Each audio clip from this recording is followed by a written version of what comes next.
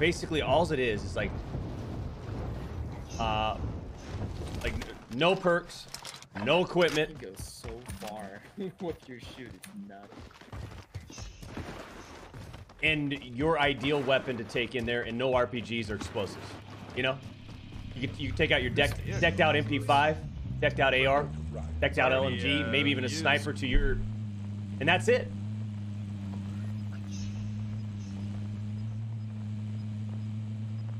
No Kimbos, none of like the bullshit stuff, you know? Just like straight up solid weapons and whatever your creative class is around it.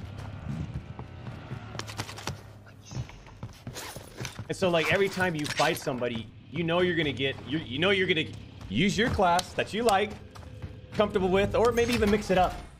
And at the same time, you don't know who you're, what you're going to get when you face the other guy. So, all right, easy guys. Hey, take it easy, guys. Brett, we're trying to have an open discussion here. It's just, it's just an idea on the whiteboard.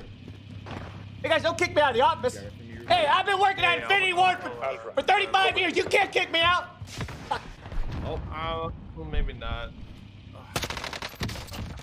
He's dead. Hey, go for it, man.